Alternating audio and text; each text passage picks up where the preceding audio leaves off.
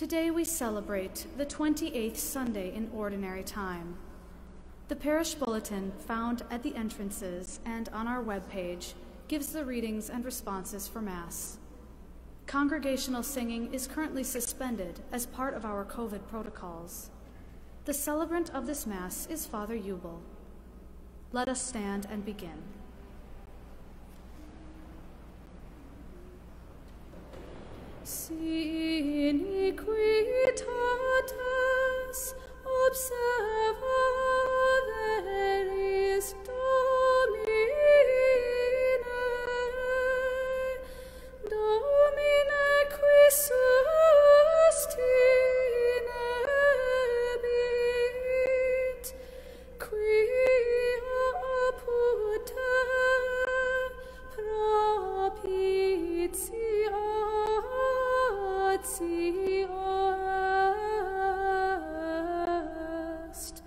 Deus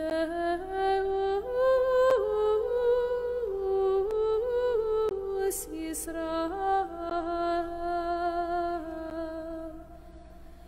De profundis clamavi ad te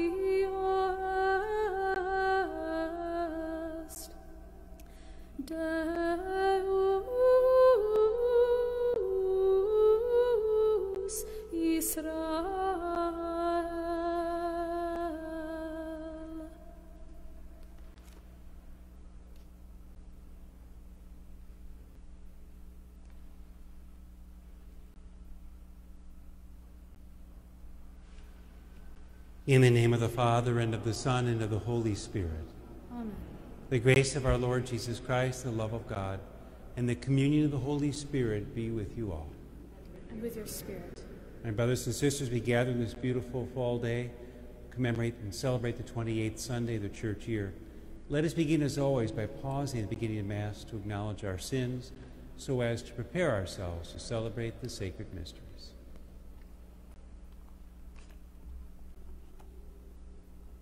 I confess to Almighty God and to you, my brothers and sisters, that I have greatly sinned in my thoughts and in my words, in what I have done and in what I have failed to do. Through my fault, through my fault, through my most grievous fault.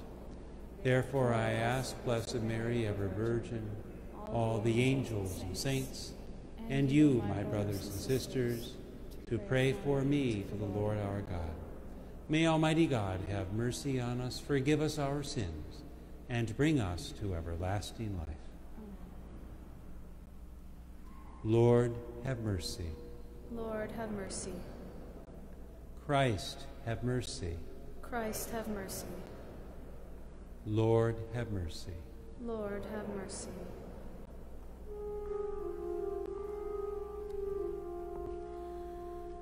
Gloria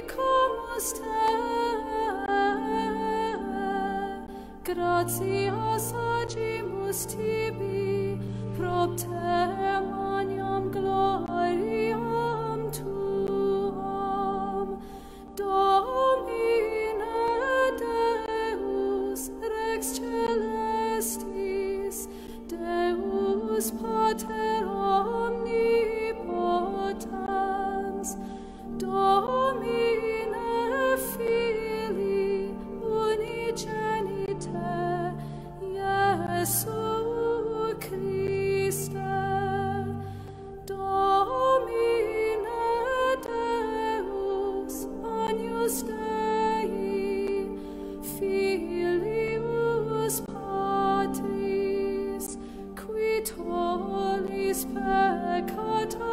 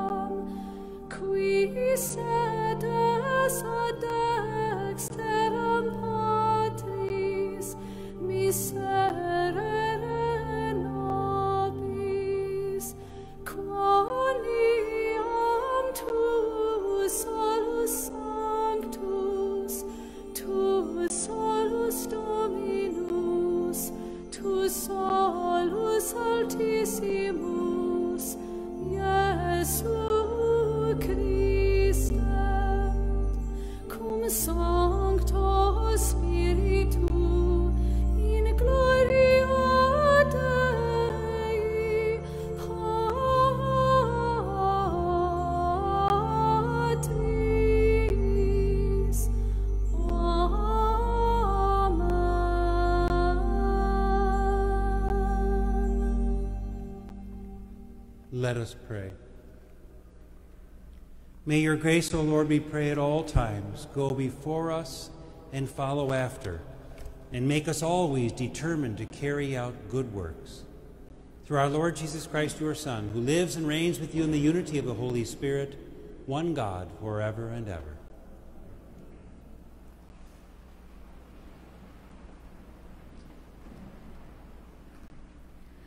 A reading from the book of the prophet Isaiah. On this mountain, the Lord of hosts will provide for all peoples a feast of rich food and choice wines, juicy, rich food and pure, choice wines. On this mountain, he will destroy the veil that veils all peoples, the web that is woven over all nations. He will destroy death forever. The Lord God will wipe away the tears from every face.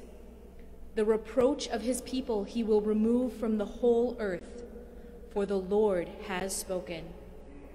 On that day it will be said, Behold our God, to whom we looked to save us. This is the Lord for whom we looked. Let us rejoice and be glad that he has saved us.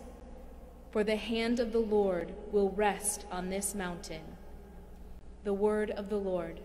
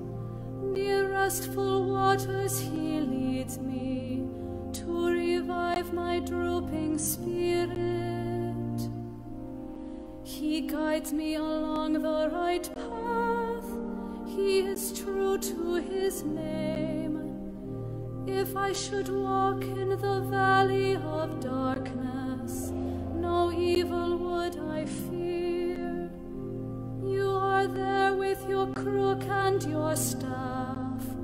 With these you give me comfort. You have prepared a banquet for me in the sight of my foes. My head you have anointed with oil, my cup is overflowing. Surely goodness and kindness shall follow of my life.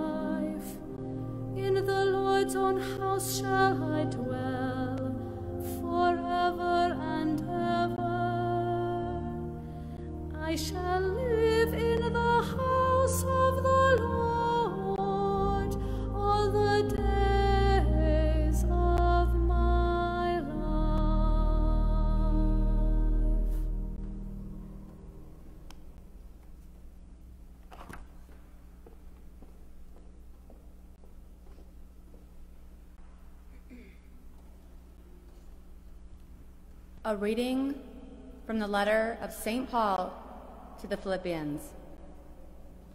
Brothers and sisters, I know how to live in humble circumstances. I know also how to live with abundance. In every circumstance and in all things, I have learned the secret of being well fed and of going hungry, of living in abundance, and of being in need. I can do all things in Him who strengthens me. Still, it was kind of you to share in my distress. My God will fully supply whatever you need in accordance with his glorious riches in Christ Jesus. To our God and Father, glory forever and ever. Amen. The word of the Lord.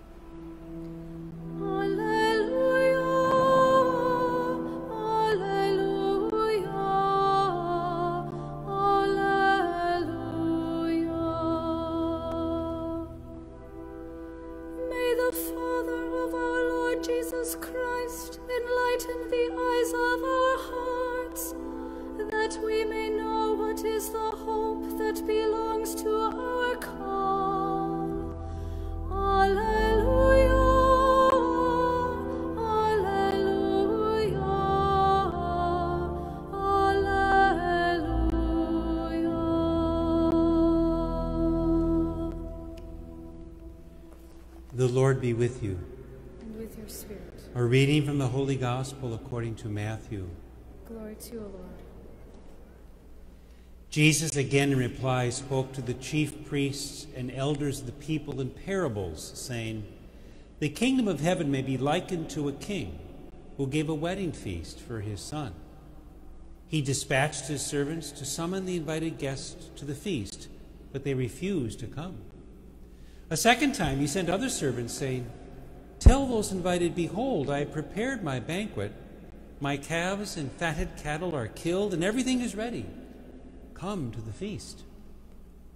Some ignored the invitation and went away, one to his farm, another to his business. The rest laid hold of his servants, mistreated them, and killed them. The king was enraged and sent his troops, destroyed those murderers, and burned their city. Then he said to his servants, The feast is ready.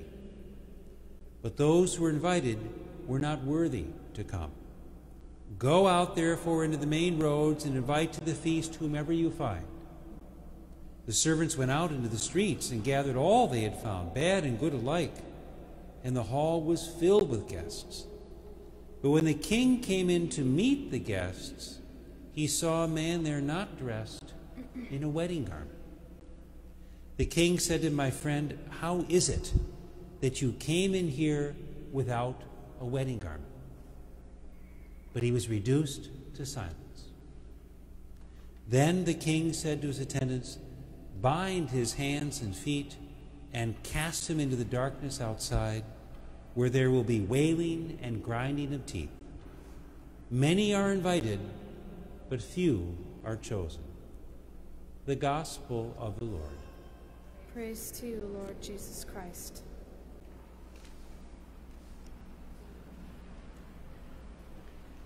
My friend, how is it that you came in here without a wedding garment? Like many scriptural passages, this one you just heard has been interpreted in many different ways, especially a more spiritual interpretation, certainly not so much literally. And it's been interpreted beautifully so. St. Gregory the Great, centuries ago, described that the Lord opened the banquet hall to the invited guests, and they responded, but that they were lacking something essential namely the virtue of charity. he connected the wedding garment with the virtue of supernatural charity.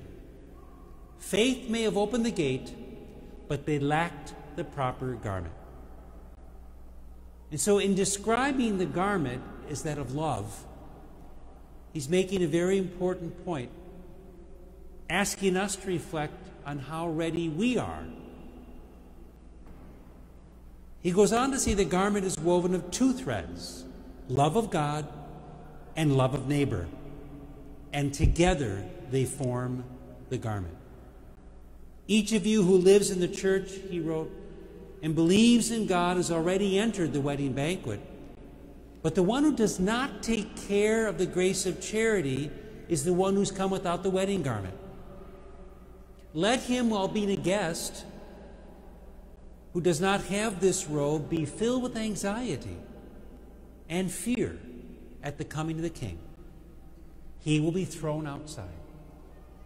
So, in this spiritual interpretation, St. Gregory is reminding you and me about the dual duty of love of God and love of neighbor.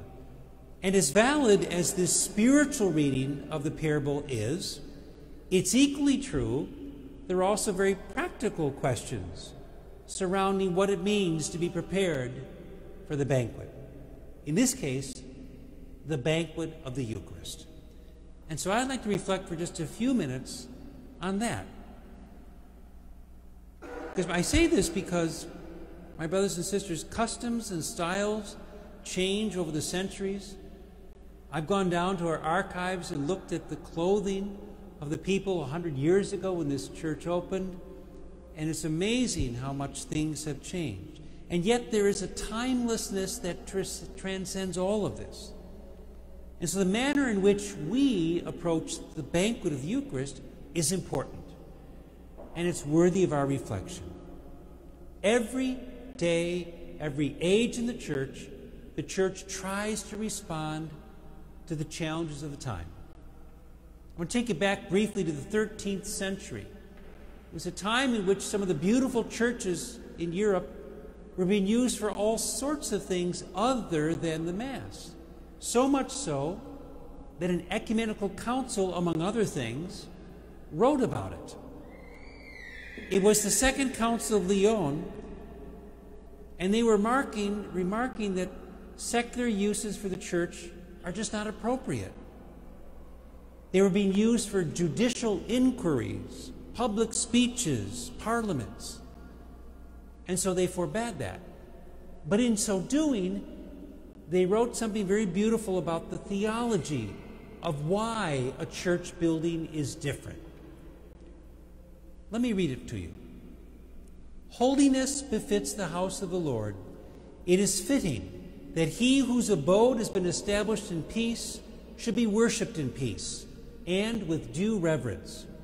Churches, then, should be entered humbly and devoutly. Behavior inside should be calm, pleasing to God, bringing peace to beholders. A source not only of instruction, but of mental refreshment. My friends in Christ, the liturgy is our sacred work. The word liturgy actually comes from a Greek word that means public duty or work.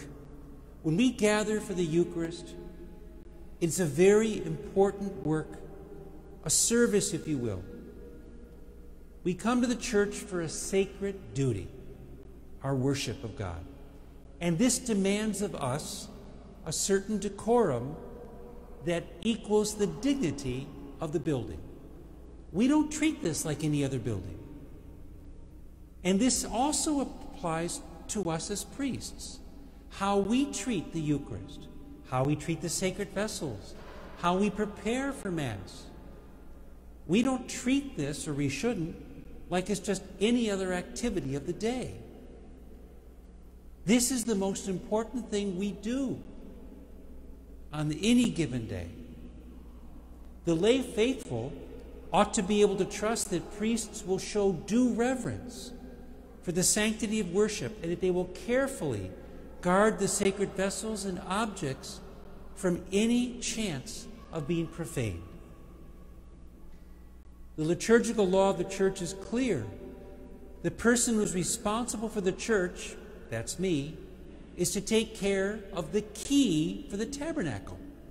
It's right there in canon law.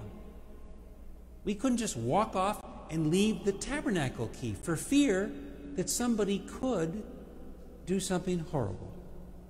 God's house must always and everywhere be treated differently than other buildings. That's the point. And it clearly is the spiritual point that St. Gregory was making about this passage. We will celebrate this coming week the anniversary of the dedication of the cathedral, which took place the formal consecration on October 14th, back in 1958, only after the church was substantially complete. That's why it took so many years after the church opened before it could be dedicated. And once the walls were dedicated and the sacred chrism was placed on the walls, this church was marked forever for sacred use and sacred use only. My brothers and sisters, it's good for us to reflect upon our own decorum, how we behave in church, how we prepare for church. I always pray for our young families. I can't imagine how difficult it is to get everybody up on a Sunday morning and dressed and ready for church. And I thank them for the care with which they endeavor to be here on time. That too is important.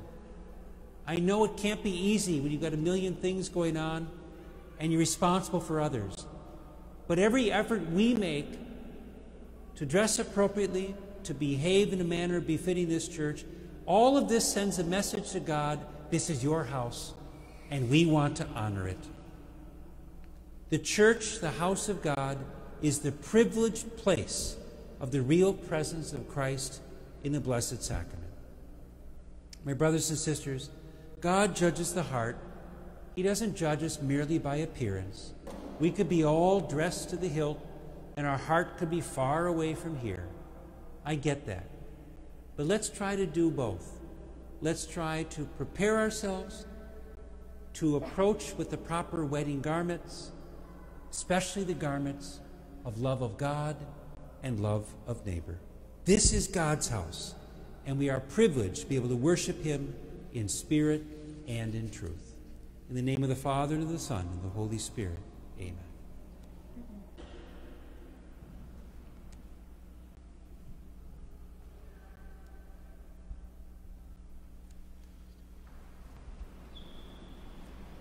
I believe in one God, the Father Almighty, maker of heaven and earth, of all things visible and invisible. I believe in one Lord, Jesus Christ, the only begotten Son of God, born of the Father before all ages, God from God, light from light, true God from true God, begotten, not made, consubstantial with the Father. Through him all things were made. For us men and for our salvation, he came down from heaven and by the Holy Spirit was incarnate of the Virgin Mary and became man. For our sake he was crucified under Pontius Pilate. He suffered death and was buried, and rose again on the third day in accordance with the Scriptures. He ascended into heaven and is seated at the right hand of the Father. He will come again in glory to judge the living and the dead, and his kingdom will have no end. I believe in the Holy Spirit, the Lord, the giver of life who proceeds from the Father and the Son, who with the Father and the Son is adored and glorified, who has spoken through the prophets. I believe in one holy Catholic and Apostolic Church. I confess one baptism for the forgiveness of sins, and I look forward to the resurrection of the dead and the life of the world to come. Amen. We ask God to look upon us in mercy as we lift up our prayers for all those in need of God's abiding presence for our Holy Father, Pope Francis, and all bishops in the Church. May they imitate the Son of Man in leading the faithful to the gospel of life. Let us pray to the Lord. Lord, hear our prayer. For all serving in public office, may they seek to protect the lives of those whom others would forget, promoting life, liberty, and justice for all. Let us pray to the Lord. Lord, hear our prayer. For those nearing the end of life, especially those who are isolated and alone, may God strengthen their faith and comfort them through the loving support of family and friends. Let us pray to the Lord. Lord, hear our prayer. For all married couples who long for a child of their own, may they find comfort in the assurance of God's loving plan. Let us pray to the Lord. Lord, hear our prayer. For a greater appreciation for the gift of reverence, by our actions and appearance, may we always treat the house of God with the dignity it deserves. Let us pray to the Lord. Lord, hear our prayer. For all who have died, especially those who helped build and restore this church, may they enter the eternal wedding banquet with the Lord. Let us pray to the Lord. Lord, hear our prayer. Heavenly Father, as we strive to serve you reverently in your holy temple, we offer these our humble prayers. We make them in faith and trust through Christ our Lord.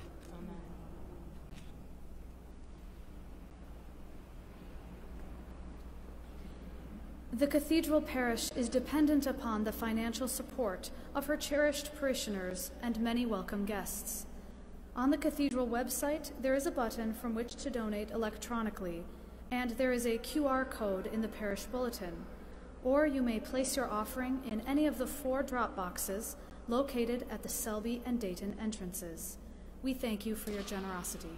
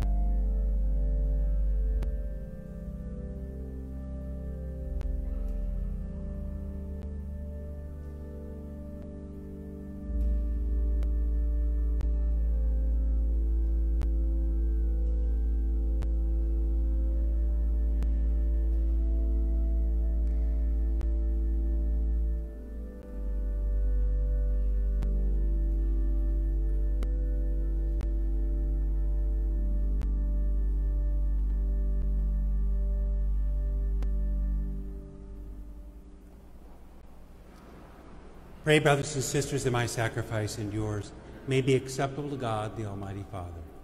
May the Lord accept the sacrifice at your hands for the praise and glory of his name, for our good and the good of all his holy church. Accept, O Lord, the prayers of your faithful with the sacrificial offerings, that through these acts of devotedness we may pass over to the glory of heaven. Through Christ our Lord. The Lord be with you. And with your spirit, Lift up your hearts. we lift them up to the Lord. Let us give thanks to the Lord our God. It is right and just. It is truly right and just our duty and our salvation always and everywhere to give you thanks. Lord, Holy Father, Almighty and eternal God, through Christ our Lord. For by his birth he brought renewal to humanity's fallen state, and by his suffering canceled out our sins. By his rising from the dead, he has opened the way to eternal life, and by ascending to you, O Father, he has unlocked the gates of heaven. And so, with the company of angels and saints, we sing the hymn of your praise, as without end we acclaim.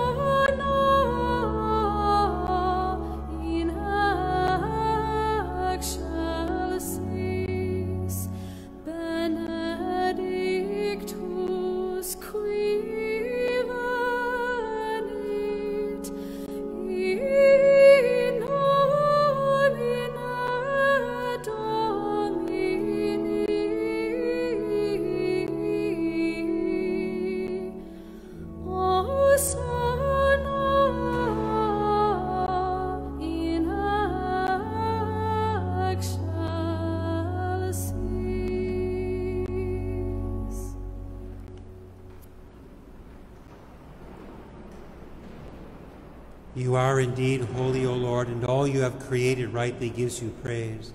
For through your Son, our Lord Jesus Christ, by the power and working of the Holy Spirit, you give life to all things and make them holy.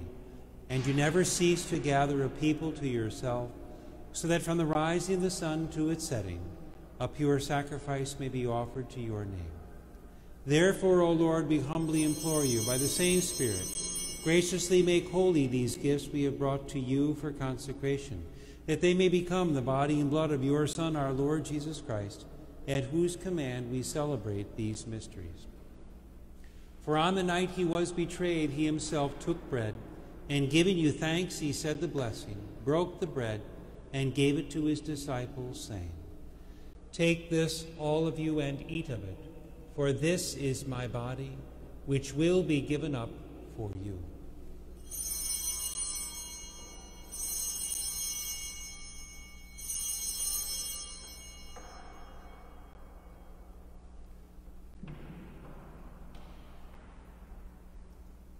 In a similar way, when supper was ended, he took the chalice, and giving you thanks, he said the blessing and gave the chalice to his disciples, saying, Take this, all of you, and drink from it, for this is the chalice of my blood, the blood of the new and eternal covenant, which will be poured out for you and for many for the forgiveness of sins. Do this in memory of me.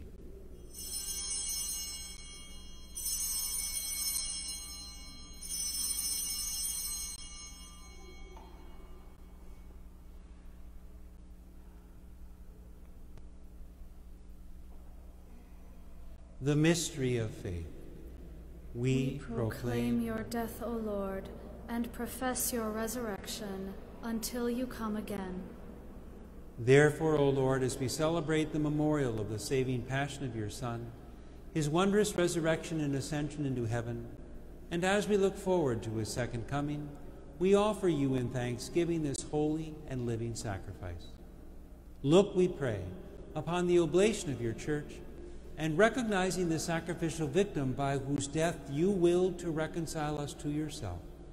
Grant that we who are nourished by the body and blood of your Son and filled with this Holy Spirit may become one body, one spirit in Christ. May he make of us an eternal offering to you, so that we may obtain an inheritance with your elect, especially with the most blessed Virgin Mary, Mother of God, with blessed Joseph, her spouse, with your blessed apostles and glorious martyrs, with St. Paul, and with all the saints, on whose constant intercession in your presence we rely for unfailing help.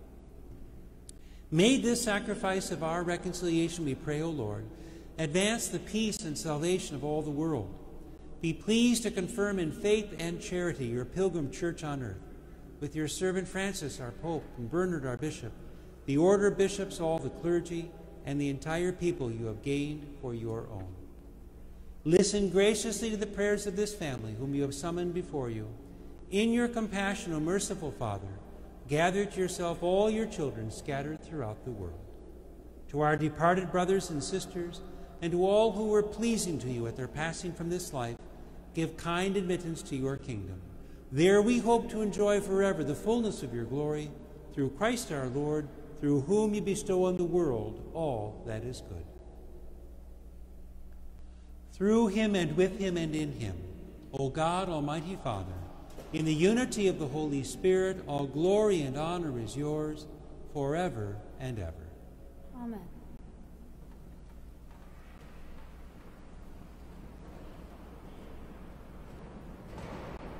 At the Savior's command, informed by divine teaching, we dare to say, Our Father, who art in heaven, hallowed be thy name.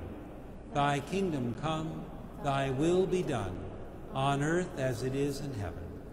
Give us this day our daily bread, and forgive us our trespasses, as we forgive those who trespass against us.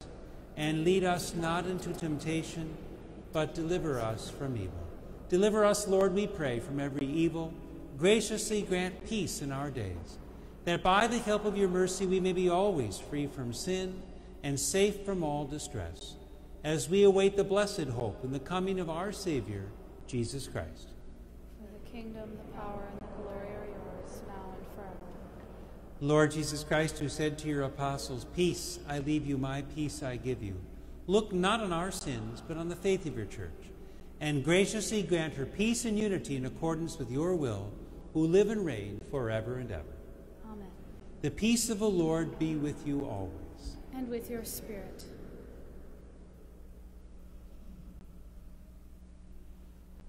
Lamb of God, You, take, away the sins of the world.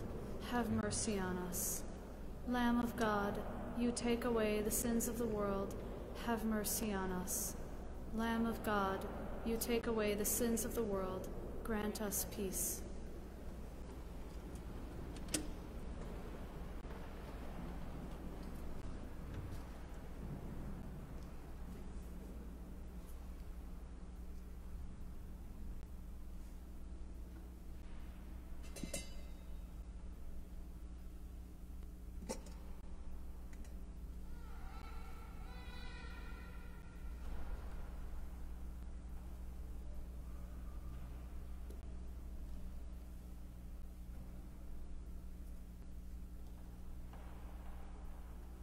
Behold the Lamb of God. Behold him who takes away the sins of the world.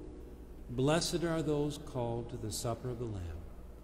Lord, I am not worthy that you should enter under my roof, but only say the word, and my soul shall be healed.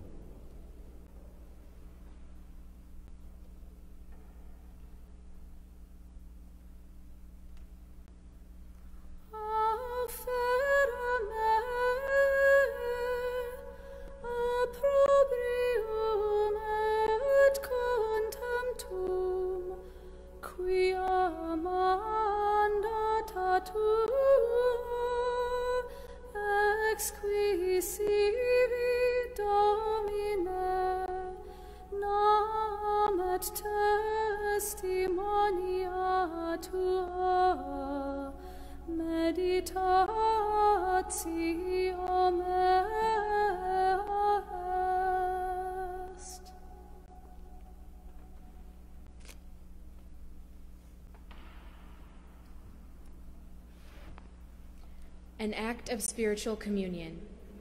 My Jesus, I believe that you are present in the most holy sacrament. I love you above all things, and I desire to receive you into my soul. Since I cannot at this moment receive you sacramentally, come at least spiritually into my heart. I embrace you as if you were already there and unite myself wholly to you. Never permit me to be separated from you. Amen.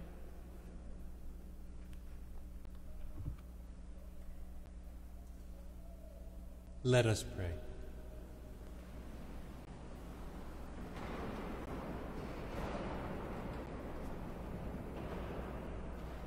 We entreat your majesty most humbly, O Lord, that as you feed us with the nourishment which comes from the most holy body and blood of your Son, so you may make us sharers of his divine nature, who lives and reigns forever and ever. Just a couple very brief announcements. We do ask you to uh, take the bulletins home with you. They're single use bulletins. Also, if it's convenient uh, and you're able when you leave to simply leave the kneeler down, that will be a signal to our staff so they know which pews to sanitize. I don't want you to trip, but if it's something you could do, that would be helpful. Uh, and again, we do have the special Mass for the dedication, anniversary of the dedication on October 14th, the 7.30 a.m. Mass. We will have organ and music. And so it's a beautiful way to celebrate this beautiful building, a gift to us from generations past, uh, our duty now to preserve it. We will hand out the communion in the normal fashion after the end of Mass. There are three of us today, so please wait until the communion minister comes to your section. Those who do wish to receive on the tongue, that's perfectly fine. I've just asked that you wait to receive from me when I get to the center aisle. The Lord be with you. And with your spirit. May Almighty God bless you, the Father, and the Son, and the Holy Spirit. Amen. Go forth, the Mass is ended. Thanks be to God.